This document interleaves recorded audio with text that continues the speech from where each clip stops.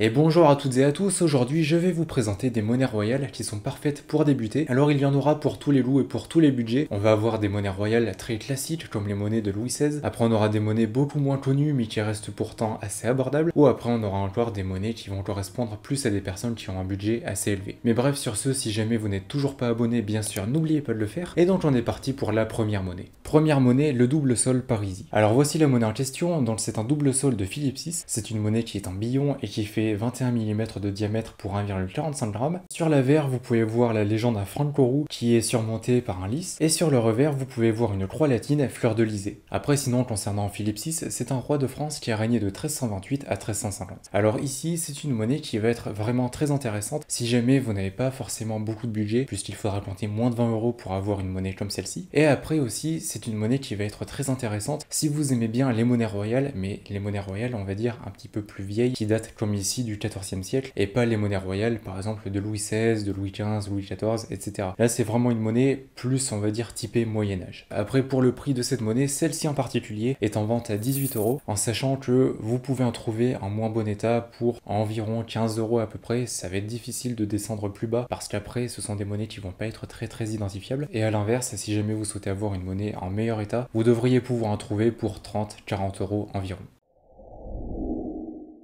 Deuxième monnaie, le gros à la couronne. Alors voici la monnaie en question, ici on est encore sur une monnaie de Philippe VI, donc là c'est un gros à la couronne et c'est une monnaie qui est en argent. C'est une monnaie qui fait 24 mm de diamètre pour 1,85 g. Pour la description, sur l'avers vous pouvez voir une grande croix coupant la légende et sur le revers vous pouvez voir un châtel tournoi avec trois besants en son centre et une couronne au-dessus. Également le tout est entouré de 11 lys. Après ici cette monnaie va être quand même meilleure que la précédente, je vais dire en termes de design, en termes évidemment de rareté, etc. Et après c'est une monnaie qui par contre, comme la précédente, fait très typé Moyen-Âge. Après là, c'est vraiment une monnaie qui est du 14e siècle et on peut le voir notamment au niveau des symboles, etc. Ça fait vraiment monnaie du Moyen-Âge. Donc une nouvelle fois, c'est vraiment une monnaie parfaite si c'est une époque que vous aimez et si vous aimez moins, on va dire, la royauté française avec Louis XV, Louis XVI, etc. Par contre, bien sûr, l'inconvénient de cette monnaie, ça va être son prix puisque c'est une monnaie qui va coûter quand même plus cher que la précédente en sachant que pour cet exemplaire, il faudra compter 100 euros. Si jamais vous avez moins de budget, vous pourrez en trouver bien sûr en moins bon état et donc moins cher. Il faudra compter pour des monnaies en moins bon état. Vous pouvez en trouver, je pense, dans les 50-60 euros, on va dire 80 euros pour avoir un état à peu près correct. Et après, si jamais vous souhaitez avoir des monnaies en meilleur état, comme par exemple celle-ci, là il faudra compter dans les 200 euros pour cet exemplaire en particulier. Par contre, si jamais vous souhaitez avoir des monnaies encore en meilleur état, euh, les prix peuvent monter à 300-400 euros. Et pour des monnaies qui sont vraiment exceptionnelles, ça peut atteindre vraiment plusieurs centaines d'euros.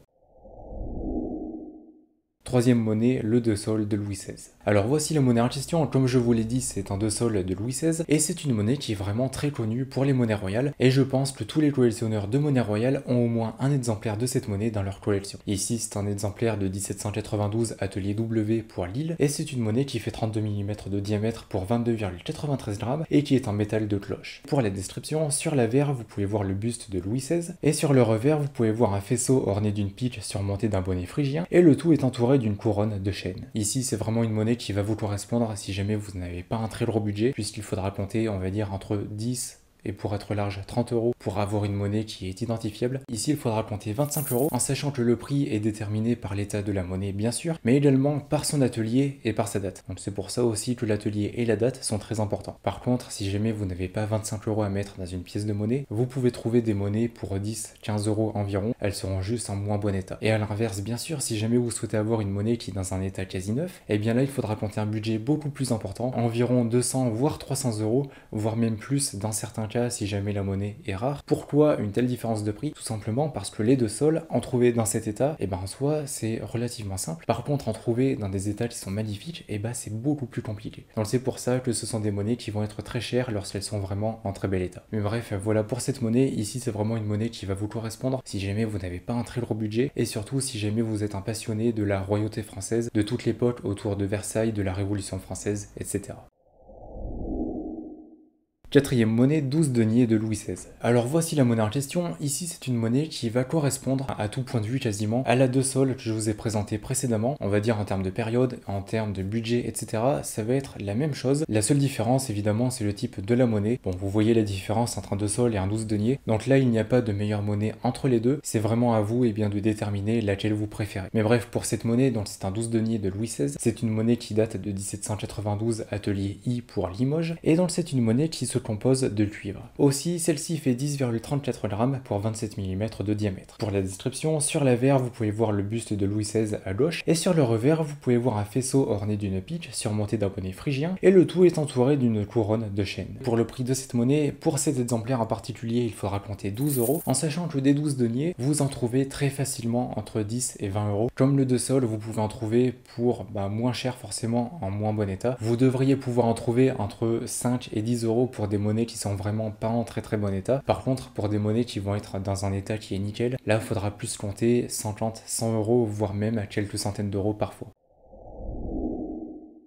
Cinquième monnaie, écu de Louis XV. Alors là, on est sur une monnaie qui va vraiment correspondre aux personnes qui aiment la royauté française, Versailles, etc. Et surtout aux personnes qui veulent avoir une belle monnaie royale en argent. Alors ici, comme je vous l'ai dit, c'est un écu de Louis XV. C'est une monnaie qui date de 1727, atelier A pour Paris. Et donc c'est une monnaie qui est en argent et qui fait 40 mm de diamètre pour 28,78 grammes. Pour la description, sur l'avers, vous pouvez voir le buste de Louis XV à gauche. Et sur le revers, vous pouvez voir un écu de France ovale entouré de deux branches d'olivier. C'est à peu près tout pour la description mais si on s'intéresse au prix de cette monnaie, c'est une monnaie qui va pas être si chère que ça. Cet exemplaire est disponible pour 63 euros, en sachant que vous pouvez trouver facilement des exemplaires à 60, 70, 80 euros environ. Vous en aurez dans le même que celui-ci. Après, si jamais vous souhaitez avoir des monnaies moins chères, euh, c'est difficile de trouver des monnaies, enfin des écus, je parle, de Louis XV à 40 euros par exemple. C'est assez compliqué d'en trouver. Et si jamais vous en trouvez, bah, ce ne sera pas des écus en très très bon état. Par contre, si jamais vous avez un plus gros budget, on va dire par exemple une centaine et eh bien là vous pourrez facilement en trouver et surtout en trouver dans des meilleurs états. Mais après des études dans ce style, vous pouvez en trouver pour 60-70 euros. Comme je vous l'ai dit, celui-ci est à 63 euros. Sixième monnaie, écu d'or à la couronne de Charles VII. Alors voici la monnaie en question. Ici c'est une monnaie idéale si jamais vous souhaitez avoir une monnaie typée Moyen Âge, également une monnaie qui va dater directement de la guerre de 100 ans, et surtout une monnaie qui est en or. Évidemment, il y a bien sûr un problème à tout ça, ça va être le prix, puisque bah, bien sûr ça va être la monnaie la plus chère de cette vidéo, et malheureusement tout le monde ne peut pas acquérir ce type de monnaie, puisque ça reste quand même je trouve un assez gros budget. Mais bref, si on s'intéresse plus particulièrement à la monnaie, c'est comme je vous l'ai dit une monnaie qui est en or, elle fait 2,90 grammes pour 26 de diamètre. Pour la description, sur l'avers, vous pouvez voir un écu de France couronné accosté de deux lys couronnées, tandis que sur le revers, vous pouvez voir une croix feuillue avec un quadrilobe anglais en cœur accosté de quatre couronnes. Le tout est dans un double quadrilobe. Et aussi concernant Charles VII, donc le roi de France qui a fait frapper cette monnaie, c'est un roi qui a régné de 1422 à 1461 et c'est celui qui a mis un terme à la guerre de 100 ans. Mais sinon, concernant le prix de cette monnaie, comme je vous l'ai dit, ce n'est pas une monnaie qui va être accessible à tout le monde puisqu'il va falloir un certain budget quand même pour pouvoir l'acheter. Cet exemplaire en particulier est en vente à 780 euros, en sachant que si jamais vous souhaitez avoir à tout prix un écu d'or, mais que vous n'avez pas 780 bah, euros à dépenser, vous pouvez en trouver soit très usé pour on va dire 500 euros, peut-être 400 euros. Ou alors vous pouvez en trouver qui sont cassés. Aussi ça se trouve parfois, mais je trouve ça dommage d'avoir une monnaie qui est cassée. Mais bon après si jamais vous ne pouvez pas faire autrement, vous pouvez trouver des fois des demi-écus d'or pour dans les 350-400 euros environ. Après honnêtement ce n'est pas quelque chose que je vous conseille. Si jamais vous souhaitez avoir à tout prix un écu d'or, je vous conseille plus de mettre de côté, d'être patient et de vous acheter soit un exemplaire bah, qui est entier mais pas en très bel état, soit un exemplaire bah, qui va être en meilleur état et dans ce cas là vous mettez de côté pendant un petit peu plus longtemps l'inverse de tout ça, si jamais vous souhaitez avoir un exemplaire en meilleur état, et eh bien là il faudra compter dans les 1000, 1200 euros environ vraiment pour un exemplaire qui sera en très très bel état. Mais voilà, après c'est vraiment une monnaie qui va vous correspondre. Déjà bien sûr si jamais vous avez un gros budget et surtout si jamais vous souhaitez acquérir une monnaie royale en or et surtout une monnaie royale qui provient directement de la guerre de 100 ans.